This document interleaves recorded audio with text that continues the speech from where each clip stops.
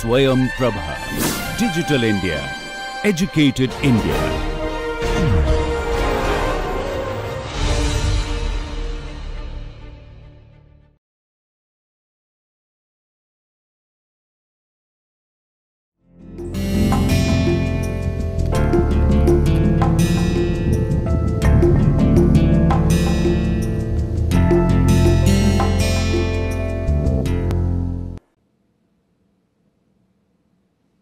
Good morning, dear students.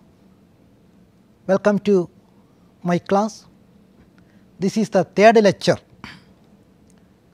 of this course. The title of this lecture is European Settlements. In these previous lectures, we have seen that one of the effects of the decline and disintegration of the Mughal Empire was the establishment of colonial power in India. Let us have a look at how the British emerged victorious and established their power in India. Who were the major European traders reached India and how finally the British emerged victorious. It was not in modern period the British or eh, other Europeans came to India for trade.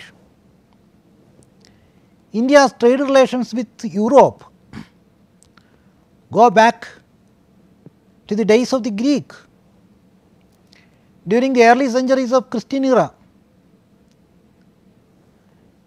South India during the Sangam period maintained brisk trade relations with the Roman Empire from 1st century AD to 5th century AD till the decline of the Romans.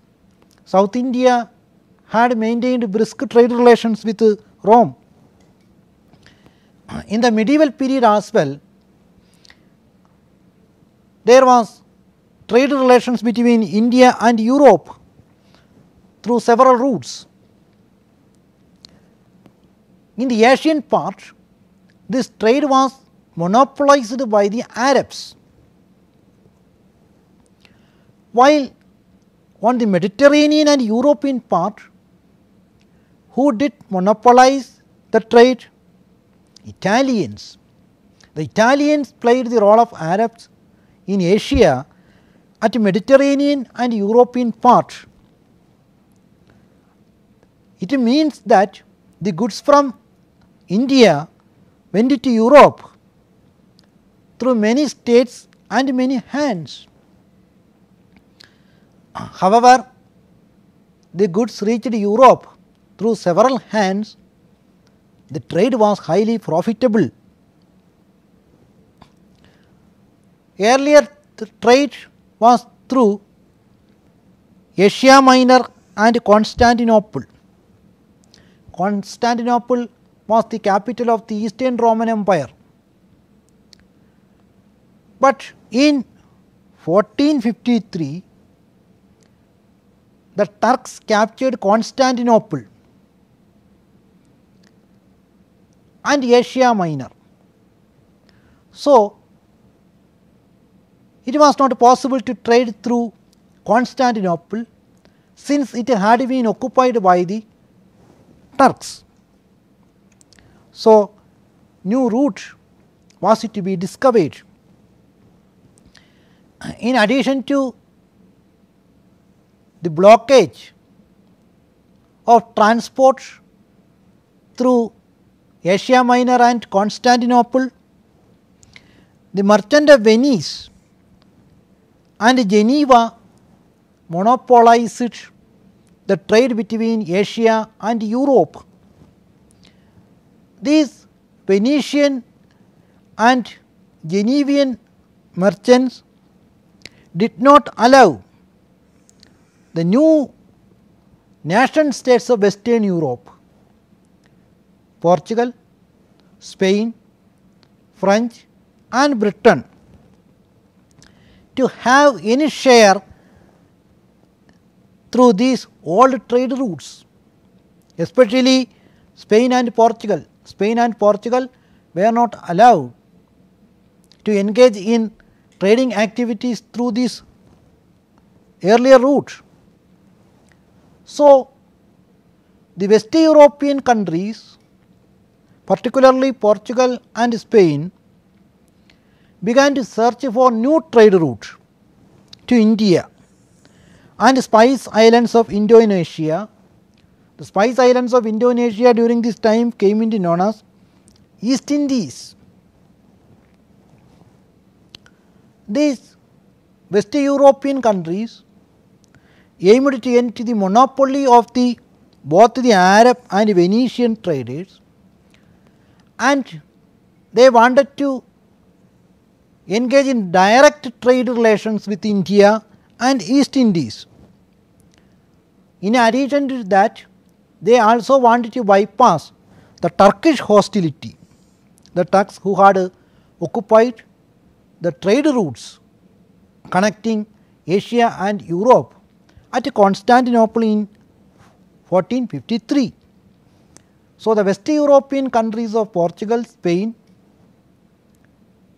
was eagerly looked for finding new trade routes connecting Asia and Europe.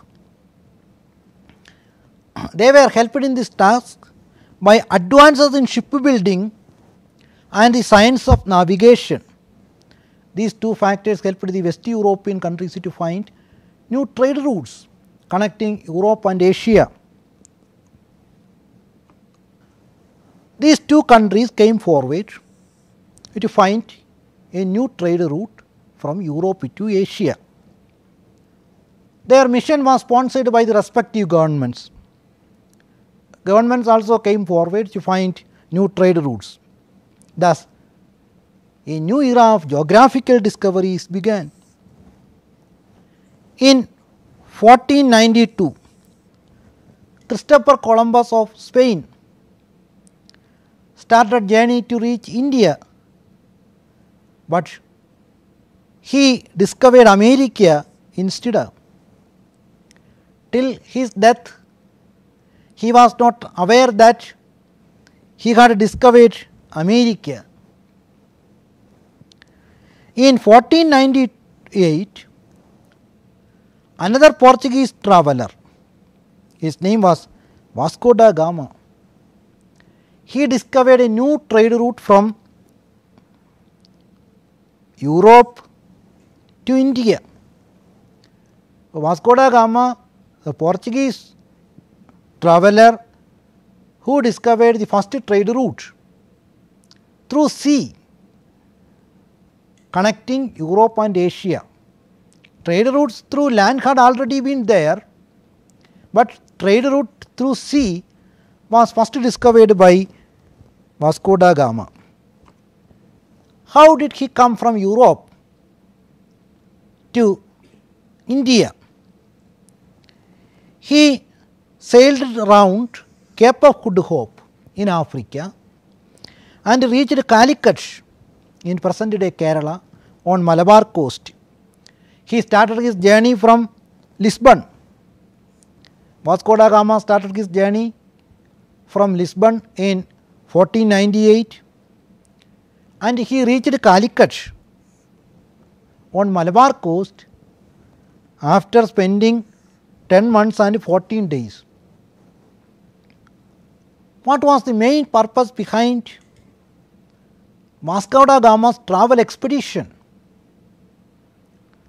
The main purpose was to seek Christians and spices, to get converts into Christianity and get spices were the major intentions behind Vasco da Gama's expedition.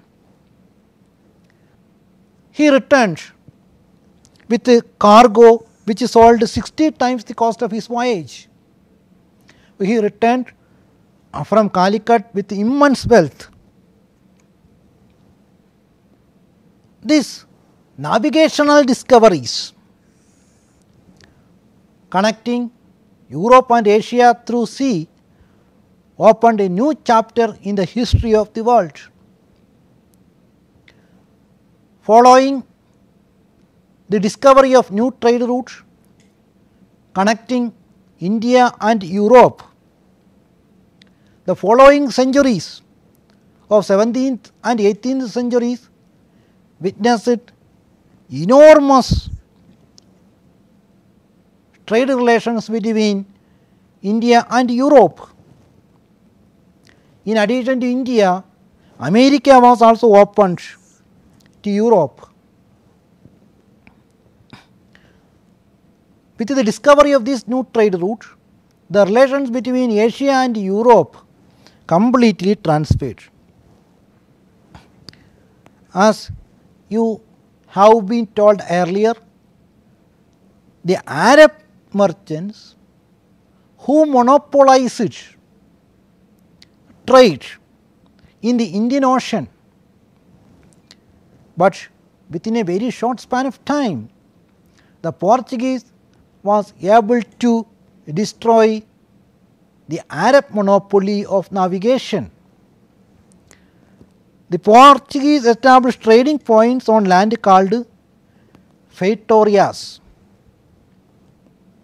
These feitorias were unfortified trading outposts which served as a strategic base for naval fleet. In Calicut, the Portuguese entered into conflict with Zamorin. He was the ruler of Calicut. When the Zamorin was not ready to expel the Arabs who had monopolized trade from his port, but the Portuguese cleverly played off the Raja of Cochin against the Calicut.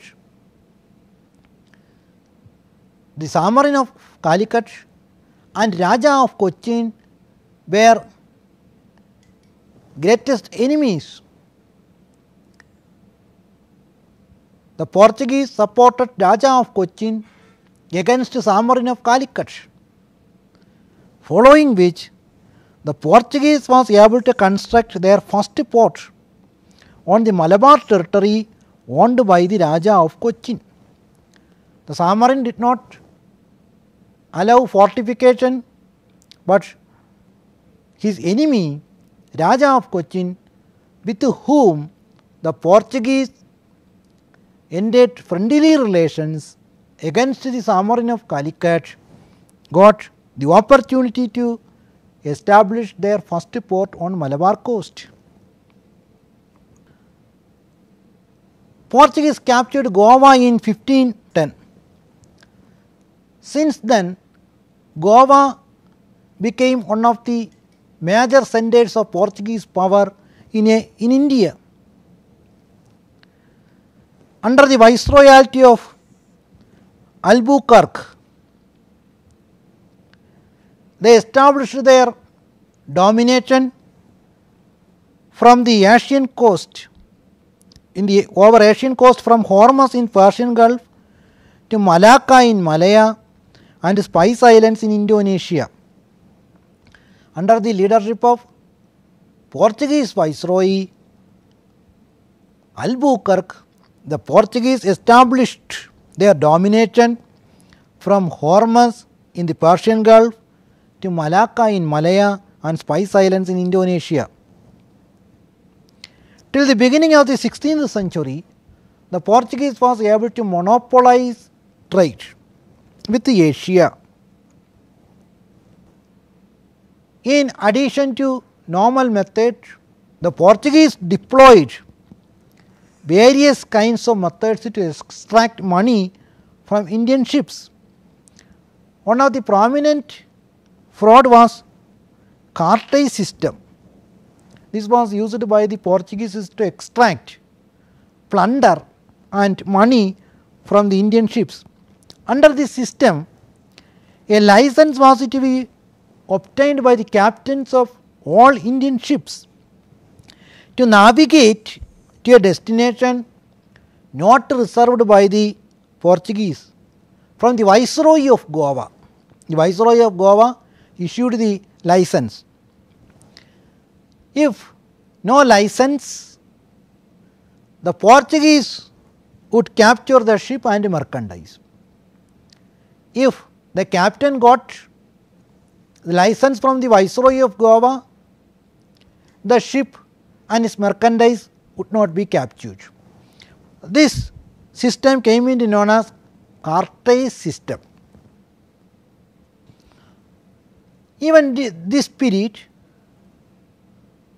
the Mughals with a powerful army and a strong administration was in existence. Since the Port Mughals had not interesting in developing a strong army, the Portuguese could withstand this. The Mughals had not interested in developing a strong army. Moreover, South India was outside the control of the Mughals. It also helped the Portuguese to engaging in trading activities. The Portuguese got a profit not only from spice trade, they were also the carriers between other Asian countries. They purchased art manufactured products or other articles, spices from one Asian country and sold it in another Asian country. Likewise, Persian carpets reached to India. The Portuguese purchased Persian carpets and sold it to India. Likewise, the Portuguese purchased copper and silver from Japan and sold it to China. They served as the intermediaries in trade. The Portuguese monopoly in trade did not last long. By the first decades of the 17th century, most of the Portuguese empire in the east collapsed in competition with the Dutch who emerged powerful. The Dutch emerged powerful. Most of the Portuguese settlements were occupied by the Dutch.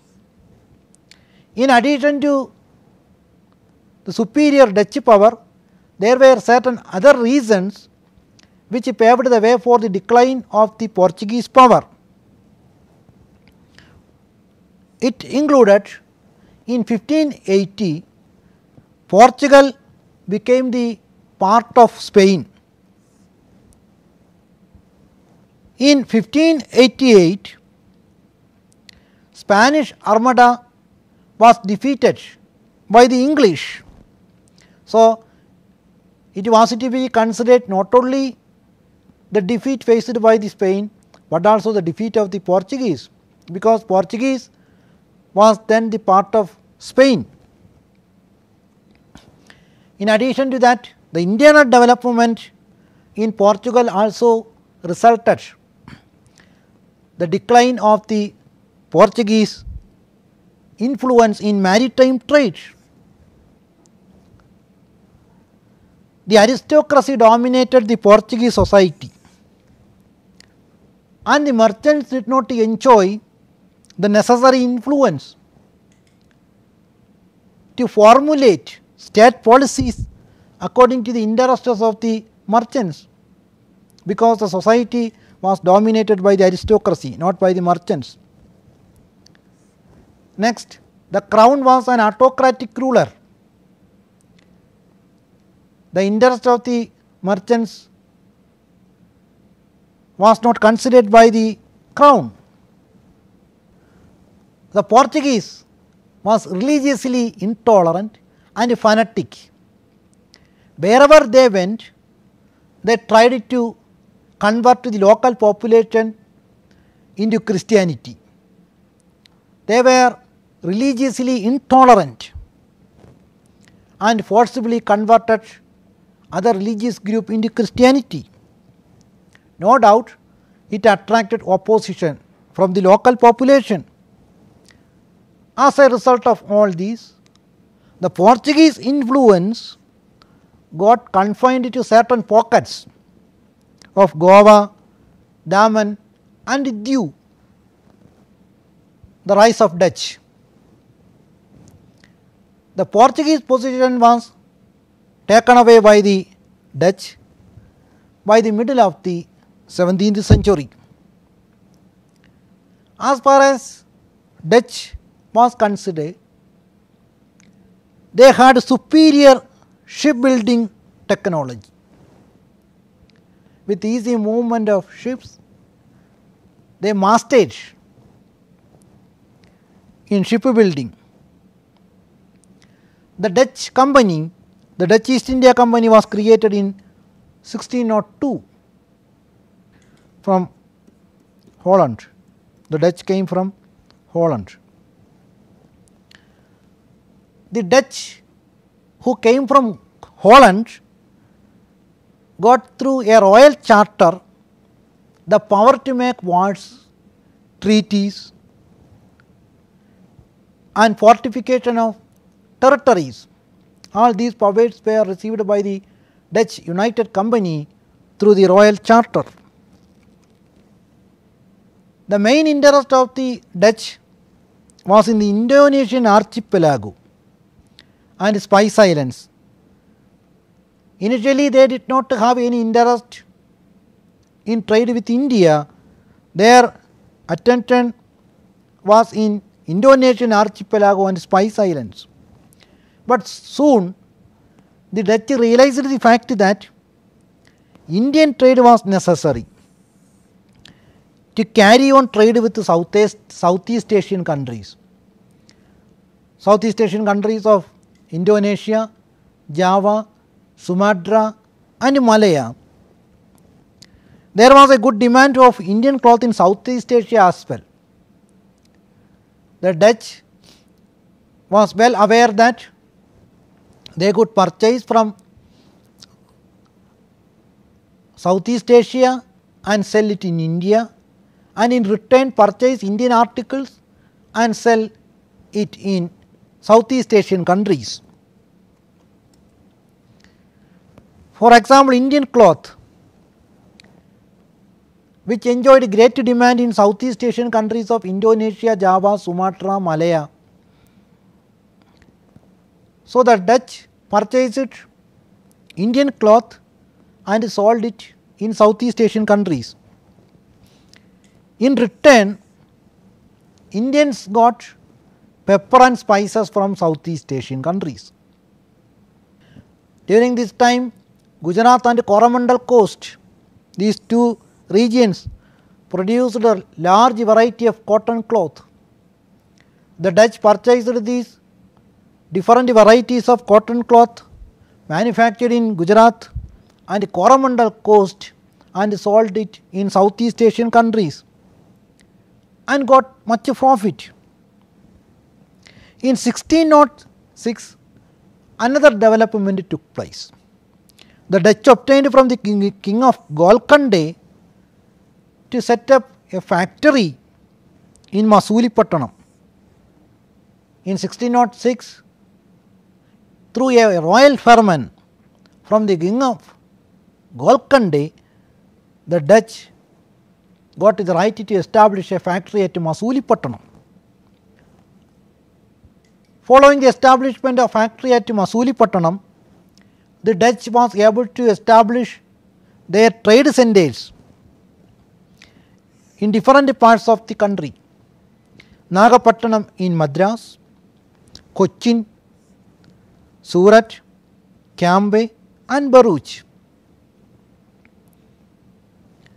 In these places, trade centers were established by the Dutch. In addition to that, more trading points were also set up in Chinsurah in Bengal, Agra in Uttar Pradesh and Patna in Bihar by the Dutch. In all these places the Dutch established trading depots. The Dutch engaged in trading of indigo, saltpeter, opium raw silk and cotton. The Dutch was also able to capture the earlier position which had been enjoyed by the Portuguese in inner Asian trade. The Dutch captured Malacca in 1641, Colombo in 1655-56 and Cochin during the period between 15, 1659 and 1663. Overall, the Dutch replaced Portuguese in trading activity, but the Dutch had to contend with another powerful rival who was this rival it was none other than the Britishers. Now, we are going to see the emergence of the British.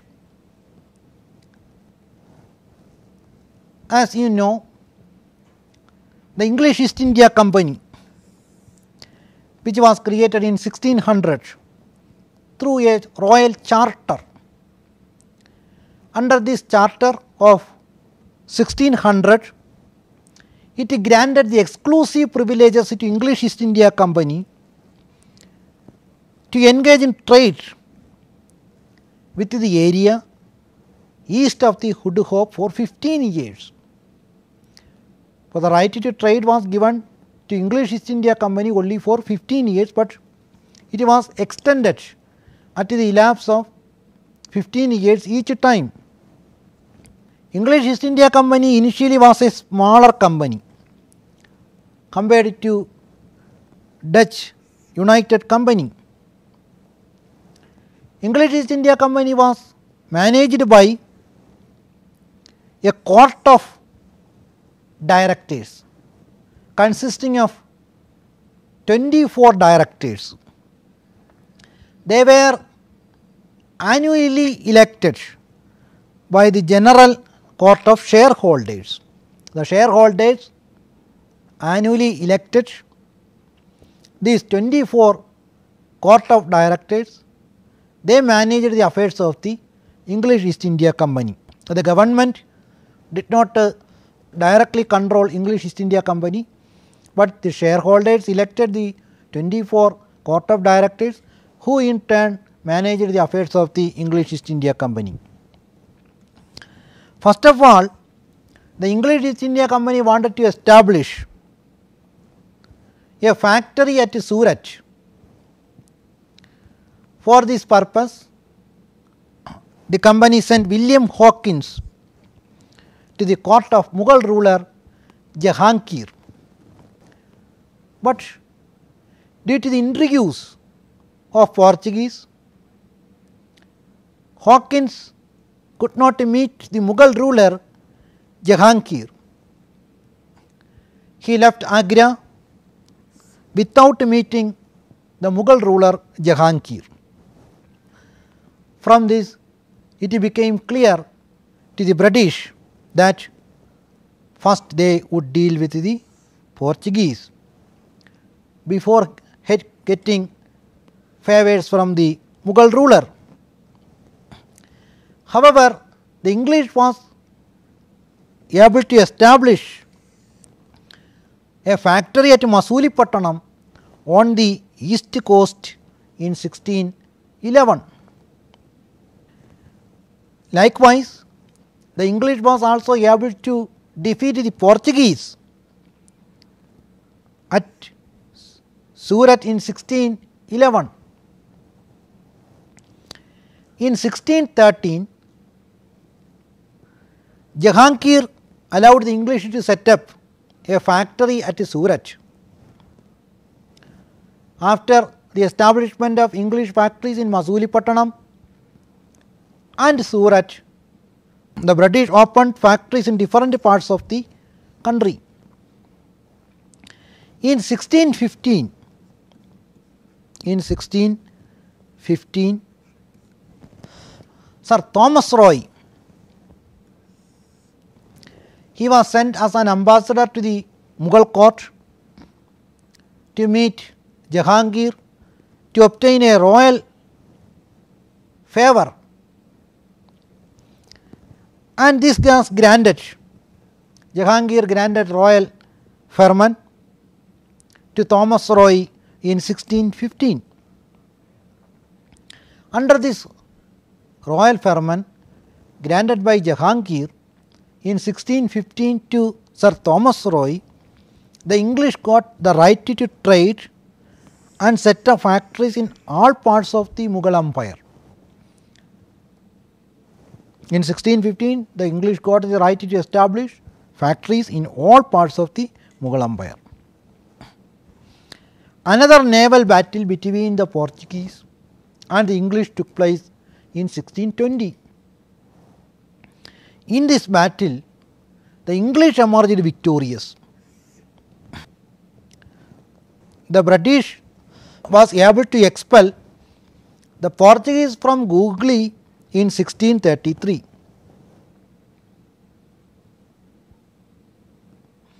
through the intervention of the Mughal forces. In by 1623, English factories were set up in western coast of Bharuch, Ahmedabad and Surat. In these places English factories were set up. The Mughal authorities did not allow the British to fortify their settlements. So, the British turned their attention to the South India to evade the control of the Mughals. Mughals, the South India during this time was not under the control of the Mughals. So, in order to evade the control of the Mughals, the British turned their attention to South India. As you know, in South India, the powerful Vijayanagara empire had already been overthrown in 1565 through the battle of Talikota and in the place of Vijayanagara empire several small states were emerged. These smaller states were incapable to fight against these colon European powers of Portuguese, Dutch or English. In 1639, the British was able to obtain Madras on the Coromandel coast on a lease from the local Raja, agreeing the payment of half of the customs revenue to the local Raja. The British also got the right to fortify and mint coins. In this place of Madras, the English set up a factory as well as built a fort. This fort came to known as Fort St. George. It was created in Madras. In 1662, King Charles II of England received Bombay as dowry on marrying a Portuguese princess. Then what British crown did? The British crown transferred Bombay to the English East India Company in 1665 after 3 years. He got it as a dowry from the Portuguese. Bombay was soon fortified. Earlier in western India, the Britishers concentrated at Surat, but because of the stiff opposition from the Marathas as well as Bombay offered a good opportunity of a good port.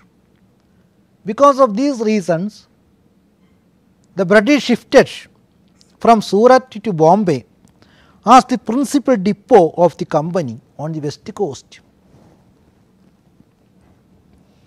Now, coming to eastern India. In eastern India, the power of the English East India Company rose only after 1630. In 1633, factories were established at Balasore in Orissa. In 1651, another factory was established in Hooghly in Bengal. In addition to these factories on eastern India, more factories were established in Patna, Dhaka and Kasim Bazar in eastern India by the British. In 1658, all the establishments of Bengal, Bihar and Orissa and the Coromandel coast, Coromandel coast means Madras, were brought under the control of Fort St. George in Madras. Initially, the Fort St. George at Madras, all the factories and establishments of the British in Bengal, Bihar, Orissa and Coromandel coast were controlled. In eastern India, the English East India Company purchased articles such as cotton, saltpeter, sugar and silk. After purchasing these articles from eastern India, these articles were exported to Britain and the difference between the purchasing price and the selling price was the profit of the Britishers. However, they could not make much profit because of many tolls and customs. The British merchants were required to pay different kinds of tolls and customs to the local authority. Because of series of efforts, the company was exempted from payment of customs duty in return for a sums to be paid by the company to Indian authorities that is the Mughal authority. In 1680, the Mughal ruler Aurangzeb imposed and collected jizya on English East India Company and he issued a royal firman making the company's trade customs free except Surat. However, the customs free trade or duty free trade was granted only to English East India Company. But this Dastaga or duty free or exemption from payment of customs was used by the English officials in their private capacity. English officials used this Dastaga or customs free trade for their private trade. What did it lead? It lead loss of revenue to India. It brought conflict between English East India Company and Mughal ruler Aurangzeb.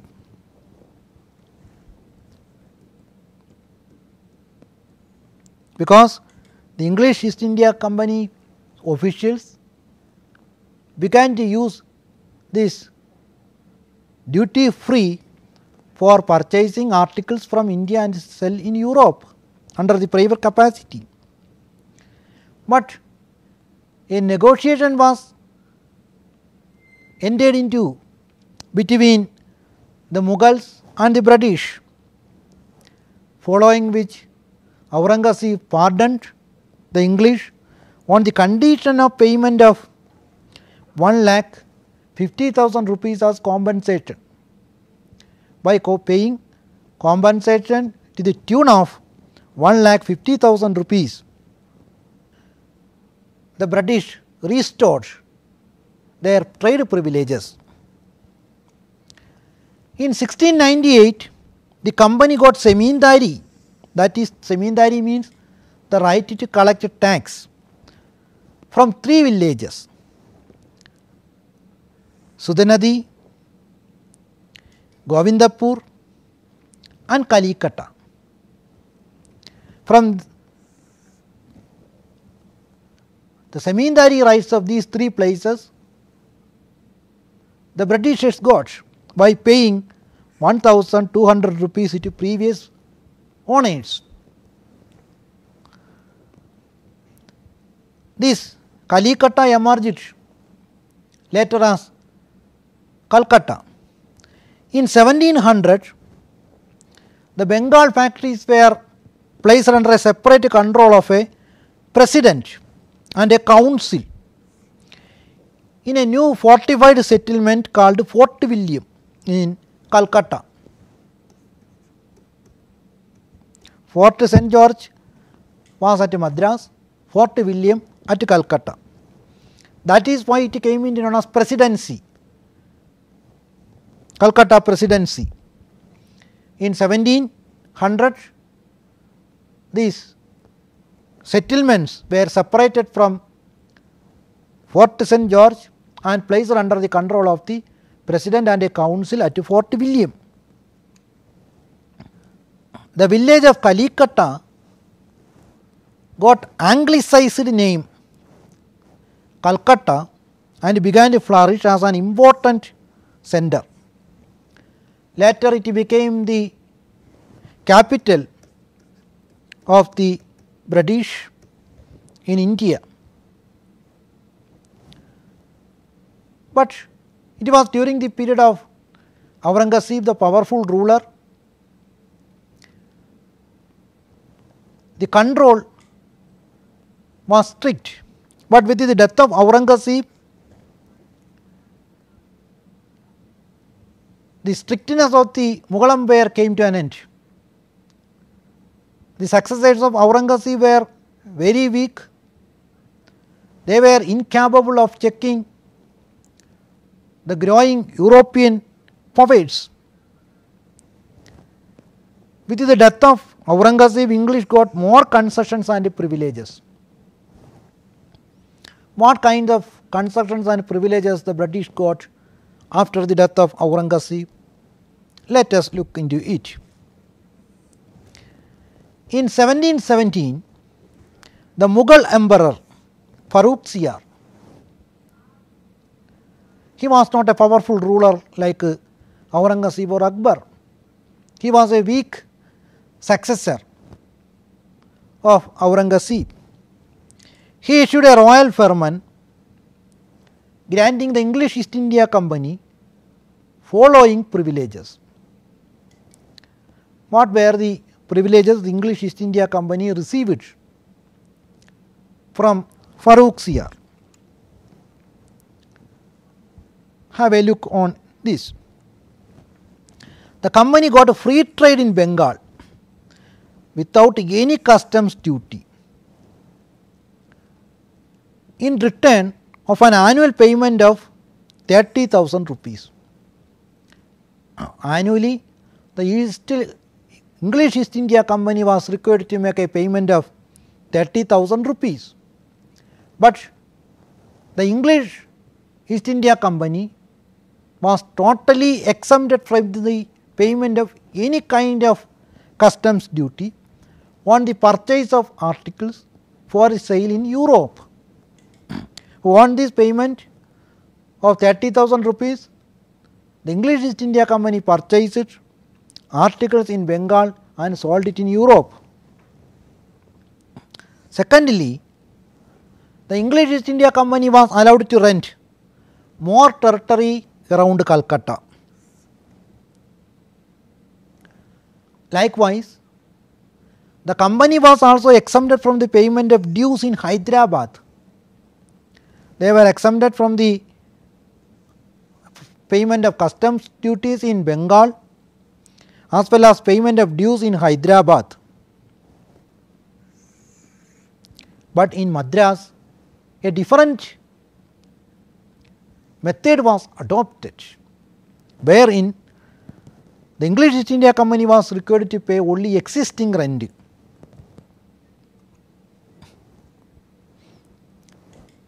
Another privileges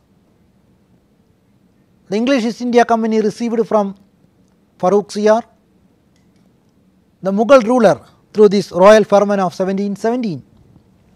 In Surat, the company was exempted from payment of all dues for an annual sum of 10,000 rupees. Likewise, the English East India Company was allowed to mint coins at Bombay and it would be considered as a legal tender. Legal tender throughout the Mughal Empire. These were the privileges the Britishers got in 1717 from the Mughal ruler Farrukhsiyar. Now coming to French. French was the last to appear on the scene. It was Colbert who established the French company in 1664 to enter into Indian trade. The first French factory was established at Surat in 1668. The French was able to establish a factory in Masulipattanam in 1669.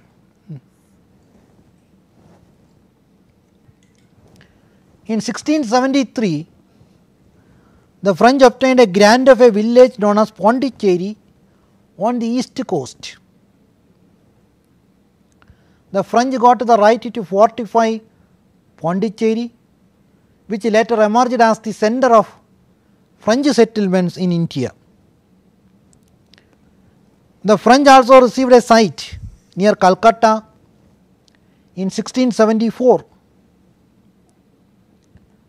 from the ruler of Bengal where they built the town of Chandarnagar between 1690 92.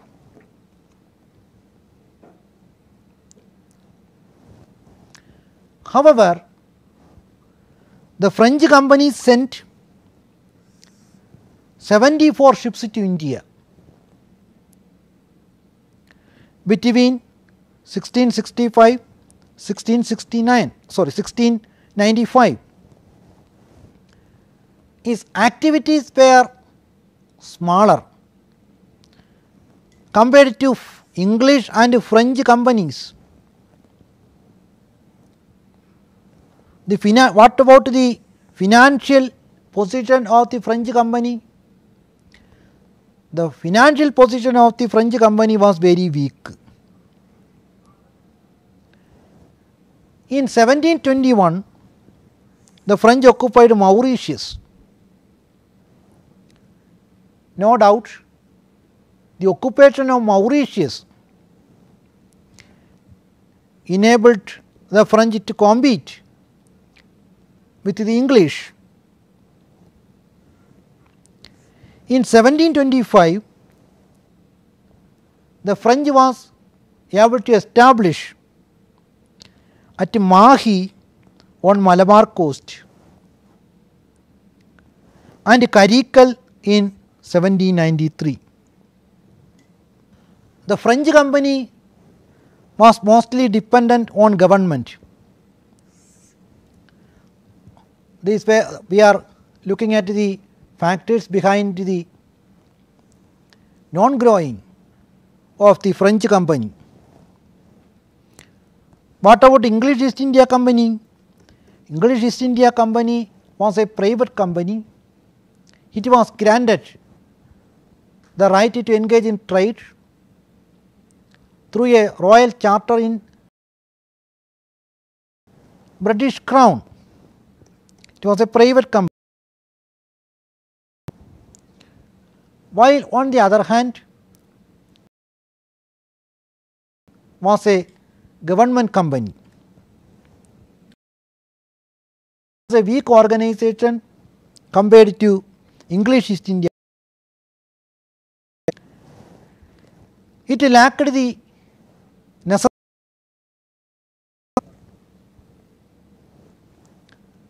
then the French company was controlled by the government.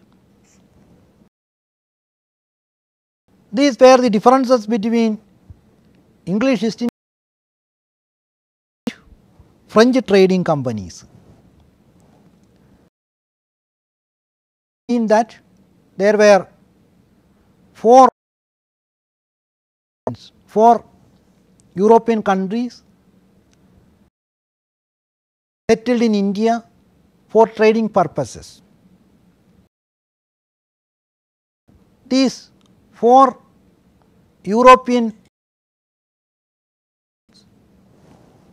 for initially the Portuguese, the by the Dutch, with the English to left the scene. English and on the scene. English in this struggle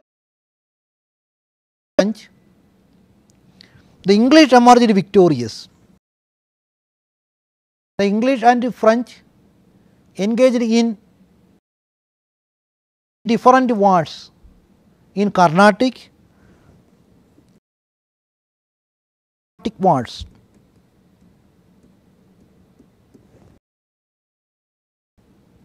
In these Carnatic wars between the English emerged victorious at the battle of Vandivash.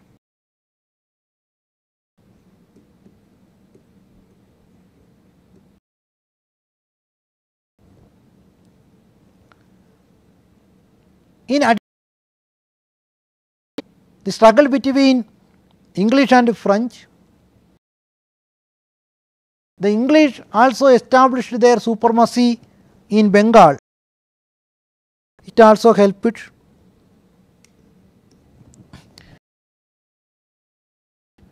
Britishers to establish their over the French. Two battles.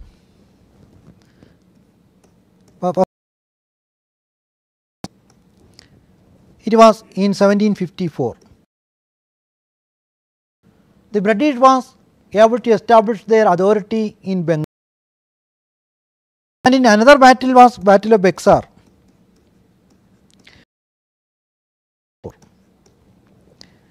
These two battles helped the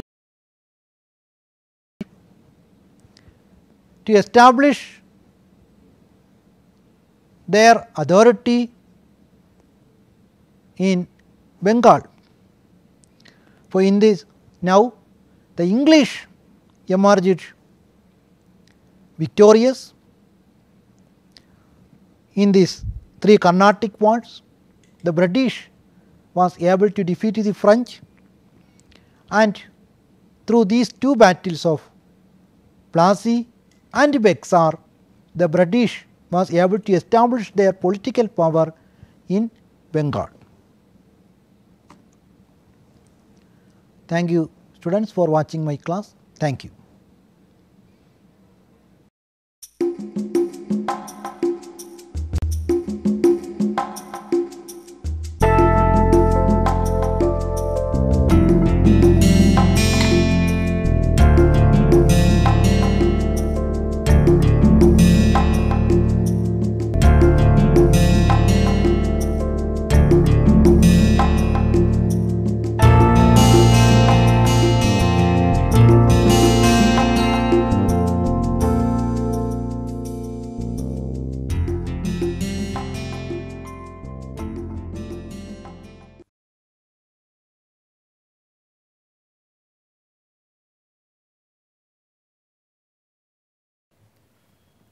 Understanding oneself, understanding others, understanding society at large, understanding the nature, these are all driven by basic human curiosity. We would all love to understand why things happen, what happens, what is the final outcome, why certain things fail. These are all exercises that we perform in various domains of knowledge. Therefore, knowledge in various domains you would realize they are actually social artifacts. They have to be rooted into historical perspective, they have to be culturally salient and there would be socio-political reasons behind this. Whether you talk with respect to engineering sciences, whether you talk with respect to physical sciences, biological sciences, social sciences, that is the reason why humanities and social sciences should be understood by all of us. The knowledge that is segregated, that is divided with respect to areas, specializations, all of them needs to be understood in its context. And what provides the context? It is the social reality. How do you correlate knowledge in a given domain with the cultural reality, with the social reality, with the socio-political compulsions. Okay. How do you understand the law of nature okay, in its totality? And for doing that, you require the understanding of humanities and social sciences. Say for instance, if you are trying to understand the effect of a particular bacteria, a virus, any microbe, how it affects behavior, how it affects the organism, human being, you start looking at it from a pure biological point of view. If you are trying to look at a particular type of a wavelength, say for example, you are emphasizing on the understanding of the effect of radiation on human life, you are looking at things from a physical point of view. You are looking at the corresponding changes inside the body, you are looking at the physiological side of the uh, understanding of the information you are trying to understand why despite knowing the risk that is inbuilt in the process, why still human beings engage into it. You are looking at it from a pure behavioral point of view. Why society at large admire things which has full of risk. You are trying to understand things from a pure sociological point of view. Why people use particular uh, set of words to explain those experiences. You are trying to understand things from the linguistic point of view. So, there are whole lot of things and then finally, you try to combine all of them to say that what are the guiding principles in life. Then you say you are looking at life, you are looking at humanity from a pure philosophical point of view. And this is what social sciences courses provide you. They provide the context to you in which you would be finally positioning the understanding of the knowledge in any given domain. It could be engineering, it could be sciences, it could be medical sciences, it could be social sciences stuff, it could be humanities stuff.